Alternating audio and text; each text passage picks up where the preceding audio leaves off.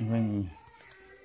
Đây là cái cái, cái à, máy à, D5500 với cái ống kit đi kèm là AP1855 VR kit. Đó. Thì bây giờ chúng ta cùng à, xem xem trong cái cái cái, cái máy Canon này xem là nó có những cái cái phụ kiện và những gì nha. À.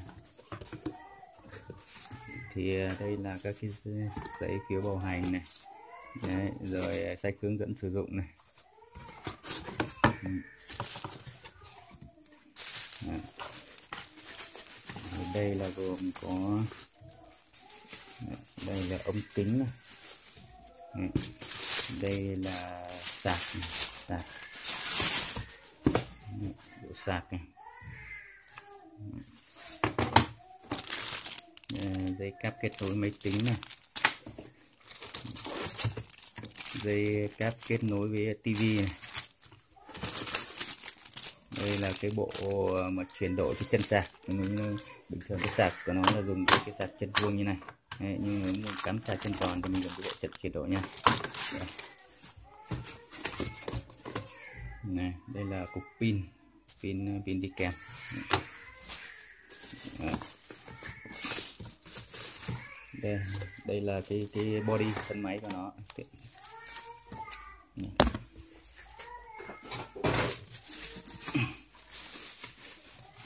Thì cái máy cái máy này thì, thì tôi đã, đã lắp sẵn ờ, dây ở đây rồi. Đấy, thì các bạn xem cái thân máy của nó. Bố trí thân máy. Đây gồm có đây là màn hình cảm ứng của Canon thì cái Canon D5005 nó là một cái cái modem mới mà nó thay thế cho cái, cái à, quên xin lỗi Nikon D5005 là cái modem mới mà nó thay thế cho Nikon D5003 thì về cơ bản cái thông số của nó thì nó cũng tương đương nhau nó gồm cái cảm biến 24 megapixel. Đấy, thế nhưng mà nó về nói chung là về cấu hình thì nó cũng cũng không có cái sự thay đổi nhiều và thay đổi lớn nhất thì nó là ở cái màn hình cảm ứng. Tức là D5003 thì nó không có màn hình cảm ứng nhưng mà D5005 thì nó có cái màn hình cảm ứng này đó. Và thứ hai nữa là các cái cái cái nút điều chỉnh các cái chế độ ở trên này thì D5005 nó cũng khác so với D5003 nó gọn nhẹ nó thay đổi gọn nhẹ hơn. Đó.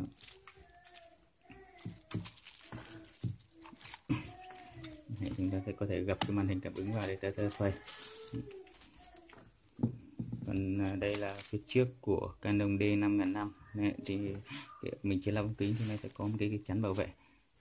Còn đây là cái ống kính của D cái ống kính đi kèm cái kit đi kèm của D5005 này. thì các bạn nhìn thấy đây là cái kit này là cái kit ống kính của nó là AFP Nikon 1855 và VR thì ở đây nó nó, nó, nó cái ống kính này là ống kính có tự chống rung được. Ừ. thì cái ống kính này là cái ống kính mà nó là cái cái mà mà, mà ra nó thay thế cho cái cái cái cái cái ống kính cũ của nó là AF AFF thế nhưng mà đây là A đời AFP thì nó là cái đời mới hơn. Thì các bạn để ý thì cái đời cũ của nó nó sẽ có cái cái gạt gạt điều chỉnh là uh, lấy nét tự động hay cái về chống rung ừ, ờ, chống rung thì nó có cái cần gạt ở đây mình có thể bật tắt ở đây. Thế nhưng mà ống kính này thì nó nó nó sẽ loại bỏ hết những cái cần gạt đấy đi rồi. Thì nhìn trông nó sẽ gọn nhẹ hơn. Đấy, và cái đây cái vòng trên này là cái vòng ừ, lấy nét này. Và tôi thích cái, cái, cái, cái ống kính cái kiểu này thì nó cái thao tác của người sử dụng nó sẽ bớt đi rất nhiều. Và ừ, các cái tính năng như là chống rung bật tắt chống rung rồi ờ, các cái lấy nét tự động ấy thì chúng ta có thể thực hiện trên cái phần mềm ở trên máy này nó rất gọn nhẹ. Đó. thì bây giờ tôi sẽ sẽ sẽ, sẽ lắp lắp cái ống kính này vào. Lắp cái ống kính này vào cái, cái body này. Thì cái ống kính này bạn lắp thì các bạn chú ý là cái cái cái cái cái nốt trắng này mình sẽ đặt đúng vào cái nốt trắng ở đây. Đó. xong bắt đầu mình xoay ngược theo chỉ kim đồng hồ là nó vào đây. Đấy, lắp thì nó sẽ rất đơn giản. Nó không có gì phức tạp cả này các bạn để ý để ngay cái ống trắng này. Đó, xong ấn nó nhẹ nhàng xuống xong nó xoay ngược chiều kim đồng hồ cả. Xoay ngược chiều kim đồng hồ. Đó, khi nào nó nghe tạch và nó, nó, nó, nó, nó chặt là ok. Và cái cái chấm trắng này nó sẽ nằm ở chính giữa này. Đó.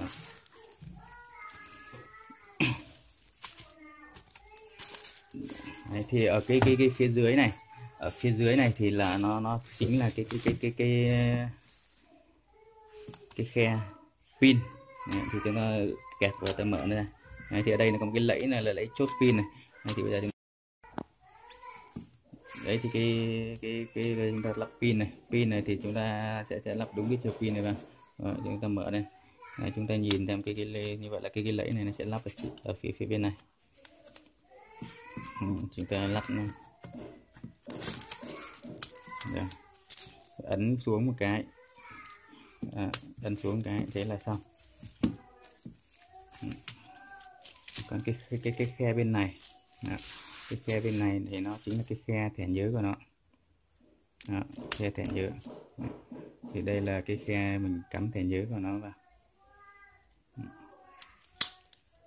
Còn cái cái cái cổng cổng ở đây chính là cái cổng xuất ra màn hình cổng H, HDMI Đấy, xuất xuất ra màn hình còn các cái cổng kết nối ở bên này chúng ta xem các cổng kết nối ở bên này xem.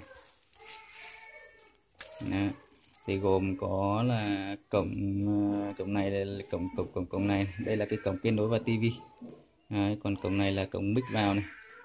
Còn một cái cổng này nữa đó, đó là cái cổng mà, mà, mà, mà có thể là xuất ra tivi Đấy, cổng xuất ra, ra tivi bằng cái cái rắc kết kết nối mà đi kèm theo máy. Ờ, ở cái đối với cái máy này thì nó nó nó nó sẽ được ờ, mình có thể kết nối thông qua wifi của, và cái thông qua wifi mình có thể kết nối vào các cái thiết bị thông minh như điện thoại cái thứ để mình truyền ảnh và chia sẻ ảnh một cách rất dễ dàng à. thì ở phía trên này thì đây chính là hai cái micro stel này còn chỗ này, cái khe lỗ này nó là chính là cái loa phát của nó ừ. thì đây chúng ta sẽ nhìn tổng thể các cái máy này Đó. Giờ chúng ta thử bật bật máy này lên đó. đầu tiên là chúng ta sẽ phải tháo cái ống kính này ra tháo ống kính này ra. Đó, tháo ống này. Tháo ống kính này ra. Thì uh, các bạn nhìn thấy đây nó là chính là ống kính của nó là ống kính Nikon AFP đó, 1855 này thì cái đây là cái ống kính mà đời mới ra của Canon. Này, ống kính giá ờ, rẻ đời mới ra của Canon. Này thì bây giờ chúng tôi bật thì bật cái này lên thì chú ý khi mà chúng ta bật lên thì này thì nó sẽ hỏi là trước khi chụp ảnh thì phải xoay cái vòng để mở cái ống kính này. Thì ống kính này một các bạn muốn chụp vậy thì các bạn phải phải phải phải, phải bình thường cái chữ L này đang ở cái chấm trắng này. À, thì bây giờ muốn chụp bạn bạn phải ấn vào cái nút này. À, cái ấn ấn vào cái nút này. Xong bắt đầu xoay nó ra xoay nó, nó, nó, nó vào cái số 18 này vào vào cái, cái chấm trắng này. Đó. Thế thì lúc này là là là các các bạn có thể xoay bắt đầu khi mà bấm cái nút là nút này nó sẽ xoay vào số 18 này thì ống kính này nó sẽ sẽ sẽ mở ra. Thì lúc đấy là bắt đầu mình mình mới chụp được. Và chúng ta có thể là xoay từ số 18 đến 55 để chúng ta zoom. Đấy, còn cái vòng trên này chính là cái vòng lấy nét của nó. Nếu như trường hợp chúng ta dùng lấy nét bằng tay còn không thì nó sẽ đi con nó sẽ tự động lấy nét cho mình. Đó. thế khi mà chúng ta cất máy ảnh vào trong túi đúng không? Bởi vì bình thường khi mà chụp ấy thì nó sẽ zoom dài nó ra như này đó thì, thì nó sẽ rất vướng khi mà muốn chúng ta chụp xong chúng ta cất máy thì chúng ta lại bấm cái nút này và chúng ta xoay về cái nút L để cho nó thu ống kính lại. Đó. Đấy, bây giờ chúng ta dài kéo dài này đó. Thì là như vậy là chúng ta sẽ chụp được thì chúng ta có thể chụp bằng kính ngắm này hoặc màn hình LCD Đấy. Cái, thì ở đây thì đối với Nikon này thì nó là dạng uh, máy uh, cửa chập thì chúng ta chỉ có thể khi mà ngắm thì một là chúng ta có thể ngắm bằng kính ngắm. Đấy, kính kính ngắm như này. Đấy, hoặc thì thì chúng ta sẽ không nhìn được màn hình LCD lúc đấy là màn hình LCD nó chỉ nó chỉ là hiển thị các cái thông số của nó. Đấy. thì cái cái cái cái thông số của cái cái màn hình của Nikon ở đây thì tôi thấy họ trình bày cũng rất hợp lý và cũng rất khoa học. Ừ, gồm có ba cái thông số cơ bản. Ba thông số cơ bản thì nó, nó hiện lên màn hình.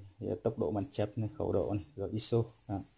còn nếu như các bạn muốn chuyển từ cái kính ngắm này sang màn hình thì chúng ta gạt cái nút ở trên này đó gạt lên trên này thì từ bên này chúng ta sẽ có thể chụp được được.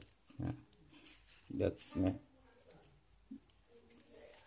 Ví dụ như chúng ta zoom. Đó, zoom. Zoom. Đấy, chúng ta lấy nét lấy nét thì chúng ta chỉ cần bấm nửa cái cái nút nút chủ đây. Đấy, bấm 1 phần hai nút chủ đó, thì nó sẽ tự động nó sẽ lấy nét cho mình. Đó, thì nó sẽ lấy nét cho mình. Chúng ta zoom. Đó.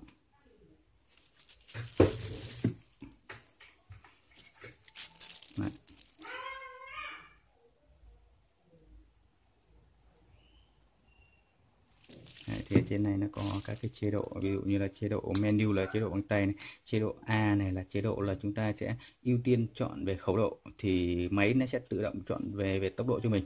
Còn chế độ S là là là, là chúng ta sẽ sẽ ưu tiên mình tự chỉnh về về tốc độ cửa màn chập thì nó máy nó sẽ tự động cái khẩu độ chọn cái khẩu độ cho mình.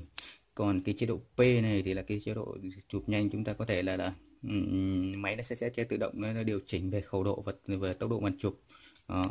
còn đây là các cái, cái, cái chế độ khác nhau này. Chế độ auto là tự động và có đèn. Còn cái này là auto không có đèn. Đây là các cái, cái chế độ mà có thể tạo các hiệu ứng. Thì cái này các bạn có thể tìm hiểu và chụp thực tế thì các bạn sẽ biết. Đó.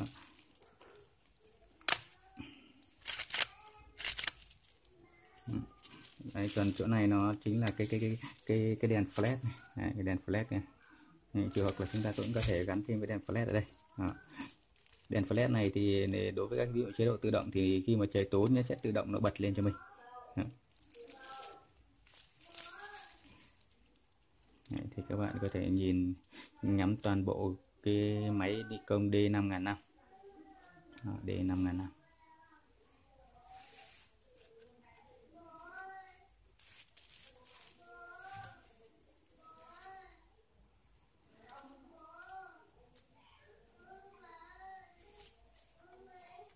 thì đối với cái D năm ngàn năm này thì Nikon này thì thì tôi thấy trên thị trường hiện tại là nó đang có hai cái dòng một trên các nơi bán thì họ bán hai cái hai loại là một là loại nhập khẩu sách tay từ nước ngoài về thì thường giá nó sẽ sẽ mềm hơn. Một loại thì nó là cái cái hàng mà mà uh, hàng chính hãng của công ty phân phối đó là công là là bên Vic Vic Việt Nam phân phối. Thì Vic Việt Nam thì khi mà bạn nó chỉ khác nhau về một cái tem bảo hành tại Việt Nam thôi còn về chất lượng thì nó cũng tương tự như nhau. Đây, thì đây đây là cái tem của Vic này đó, đây là hàng đây là hàng chính hãng này. Thì chúng ta được bảo hành tại chính hãng tại uh, của Vic Nikon Việt Nam Đấy. còn nếu như mà hàng nhập khẩu thì chúng ta không được bảo hành tại hãng mà chúng ta được bảo hành tại nơi mua Đấy. thì nó cũng ờ, chênh nhau tùy từng máy mà nó có thể chênh nhau vài trăm đến ờ, hàng triệu đồng